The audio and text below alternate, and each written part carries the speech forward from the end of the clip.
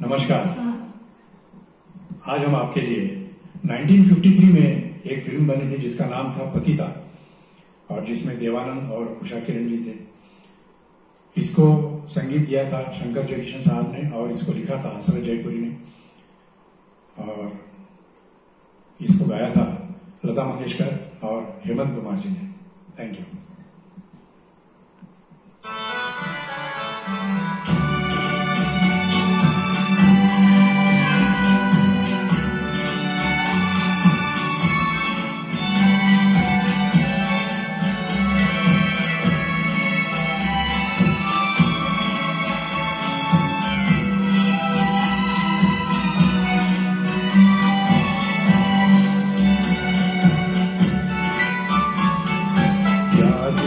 दिल ने कहा हो?